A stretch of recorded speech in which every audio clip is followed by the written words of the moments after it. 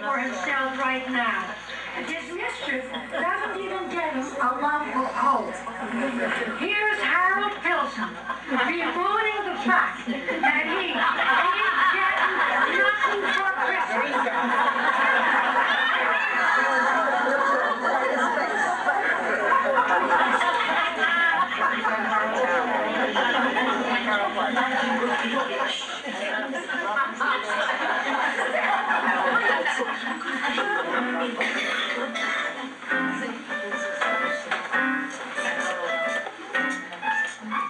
I broke my bat on Tommy's head. Somebody snitched on me. I hid a fraud in sister's bed. Somebody snitched on me. I spilled some ink on mommy's rug.